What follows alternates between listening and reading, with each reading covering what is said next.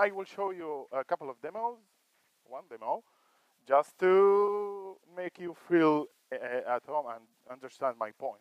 Where is the downside?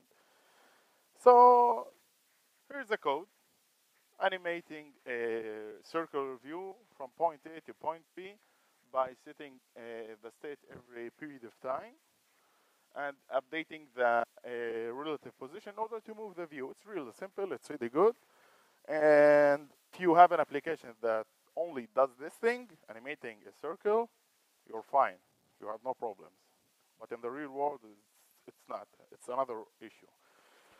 Because if we have like normal application that does a lot, that does a lot of work, like sending HTTP requests, they're having computational work, and a lot of uh, side things that JavaScript have to deal with it.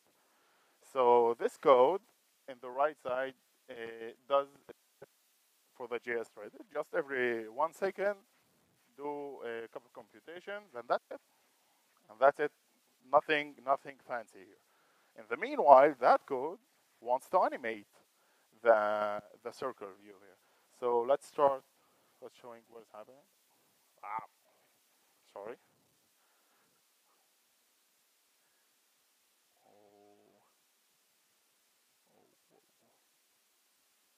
So I will show what's happening here. So what's happening, is this really cool for you?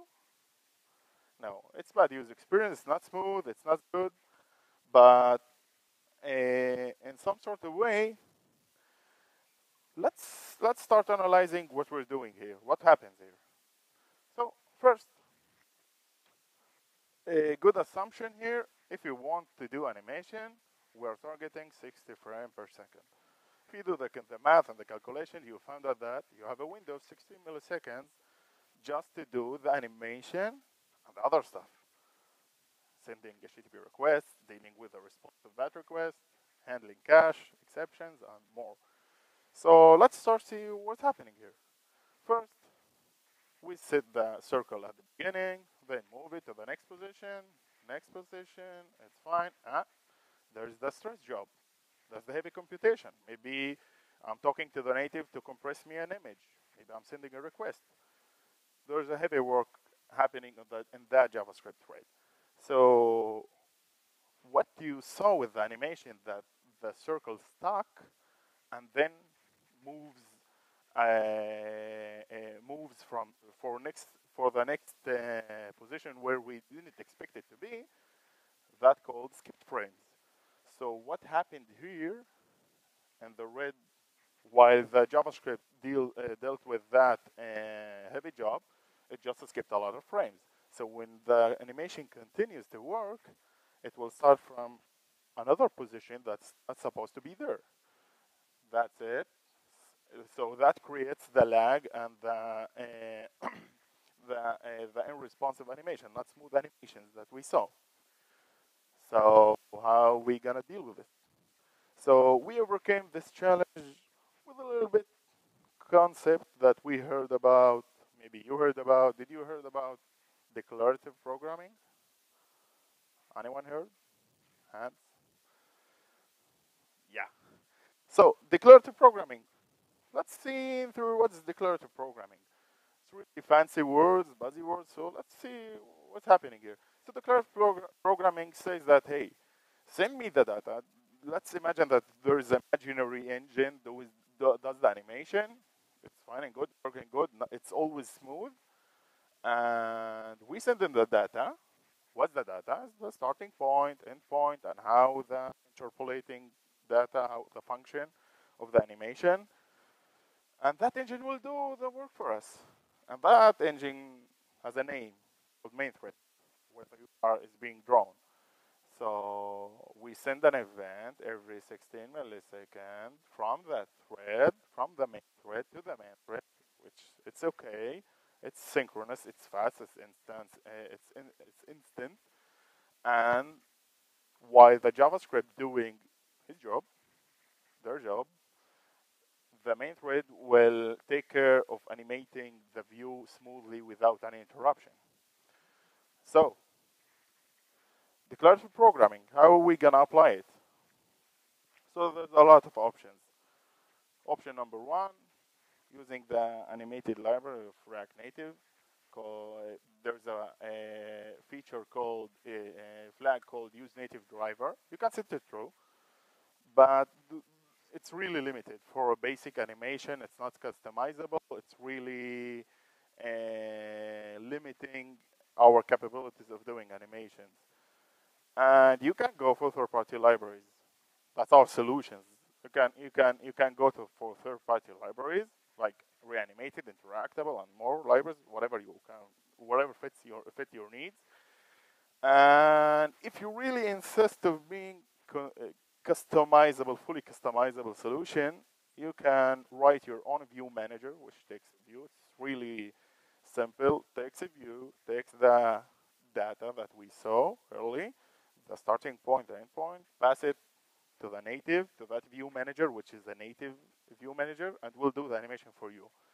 I put here an example, a, a link to a, repo a, repository at Wix where we uh, show how things is done there. So this is the possible solutions that we got. So this is really was like a not that tough example because we have a third-party libraries, people already done it for us, and if we have really cases that we want to do a custom, really fully customized stuff, we have the way to do it, and hope you will use it. Don't be afraid just to write custom view manager. It's really, it's really simple. It's not that hard, and you can do the animation natively. You, uh, and it's the best thing to do is, not, is using already. Do not reinvent uh, the wheel and use uh, already in uh, solutions. So since we are talking about JavaScript, JavaScript we say that it's single-threaded. So we have one thread that talks to our main thread. So how is that possible? So all the data from JavaScript thread to the main thread must, must pass on Stairway to Hell. So this is the bridge. Welcome to the bridge. This is the uh, way from uh, the native realm to the JavaScript realm and vice versa. And who knows the bridge here? Who heard about the bridge? Hands, hands, hands, hands, hands, hands. So the bridge itself is like a messenger. The simplest, the simplest form of it is like a messenger. It takes the messages from one person, make some magic on it, and pass over to the next one. That's it. It's really simple. It's not that simple. But the bridge itself is asynchronous. We have one thread that dealing with JavaScript code and one thread that is uh, dealing with the with the uh, with the native code. So how things is working? Let me show you a couple of demos. I love to showing people demos because it's real life. It's not just theories. So let's jump on for the for this demo. So what you see here, it's a native Android application written in Java, not JavaScript. And here's the business logic. It just takes a phone number and applies some business logic by formatting it, add, uh, by formatting it, and adding um, a dash after the fourth uh, digit. So it's smooth, yeah, right? It's good. It's fine. Nothing, nothing wrong here. Excuse me. So the whole business logic and the whole showing the numbers on the screen is happening on that main thread. So nothing wrong with it. What about React Native application? Can you spot anything wrong? Can you spot? Did you spot it? How, how many spot the, the, the issue here? This challenge we are facing like for every day because in a real application or in the uh, on on a Android device like five years old. That's how it performs. The newest devices, it's the same story, but a little bit different. So what's happening here? So first of all, the user press on on the number. It happens on the main thread on the native side the native side, since it edit text, it will show show it right away and sends the message to the JavaScript thread, say, hey, I have something changed. Do what do the business logic and return to me. Format it and return to me. So since nothing to do here with the format, the result is the same as what uh, uh, what what is shown on that edit text view. So let's continue with the with the demo. After the second number, it's okay. The third number, it's fine. And the fourth number, we have the issue. So the four, what ha what's happening here? This, the fourth digit got printed on the screen. We take the business, uh, we take that number, send it to the JavaScript thread via message via the bridge. It takes time since uh, the bridge is serializing the message, deserializing it in order to JavaScript to understand what the message. And after that, we're applying some business logic here in the JavaScript and we got the result back. So fraction of time, the user sees these uh, these two uh, values, these two final results, and we don't want that two final results. So actually, it goes on and on, and that is really bad user experience. So I'm going to share with you another another real life uh, example with the same with the same issue. This is the Wix application where you can enter credit card. Did you spot the issue? So aside from besides from loading the knowing the the uh, the logo of that credit card and limiting the numbers and doing that business logic is on JavaScript.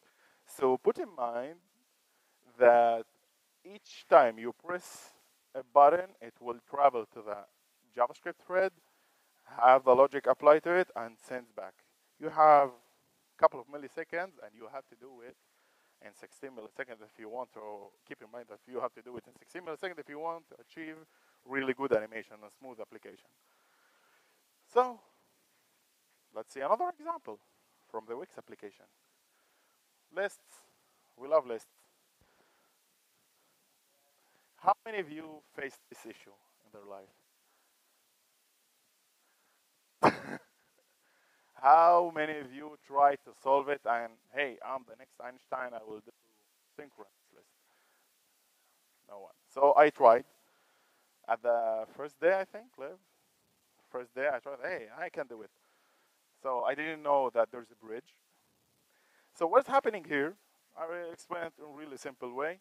What's happening here? The scroll happening of that main thread. At the beginning, at the beginning, uh, the main thread uh, receives a message that, hey, I'm going to show here like a lot of like one million items. Be prepared. And it will prepare a space for it. And afterwards, after each scroll, the mechanism works like that. After each scroll, native side talks to the JavaScript side, hey, give me more that I want to draw. And it takes time. Maybe the JavaScript is busy doing BI event. It's sending an request, and I don't know, maybe it's loading another module. So in the meantime, nothing is shown as blank screen, and blank items, white items. So what is going on? So this issue actually hard to, to figure out. So how did we overcome it? You have a couple of solutions. First, declarative programming. So moving the business logic to the native side, if it's possible. Moving to there, it will save you a lot of headaches. And it's not, it's not that uh, hard uh, to move the business logic to there. Uh, maybe writing your customer views in their native and put that native logic and view there. A good use case, if you want to show a gallery of photos, there's a lot of uh, doing there. Loading the images, putting the grid, resize them, and then do the work. And the other thing that Terry will uh, talk you about in uh, in the next in the next talk is using the new JSI Java JavaScript interface Fabric Turbo Modules that will replace the bridge maybe, and Terry will uh, elaborate about it more. So, here you go. we have our possible solution for this issue. At Wix, we use the first two solutions right now. And the last one, it's experimental. We're doing experiments on it. It's not uh, final. But there's one more thing. Remember? I talked about the documentation that I missed, that we have someone called Hermes. And Hermes is a new JavaScript engine which will replace uh, the JavaScript core, uh, hopefully, soon. And what is what is special about it? It's really mobile first JavaScript engine. It's not for the dedicated for the web. It's not dedicated for other things. It's just mobile only. So what it's doing in a nutshell is taking the JavaScript code, compile it, eh, taking that stages that was in the runtime into the build time. So what it mean? We're minifying, parsing, compiling the JavaScript code at the build time. We have a lot of time at build time. You can drink a lot of coffee. And at the runtime, just execute it like any other application. It's just a binary code. That will help you make faster startups in the first place. And it will be, it will take care about the, it will not load the whole binary file. That's the, uh, that's, uh, that's the main thing. So we hope it will be soon. And Terry will elaborate on you, with you uh, about it uh, like uh, soon, really soon. So thank you and have a nice evening.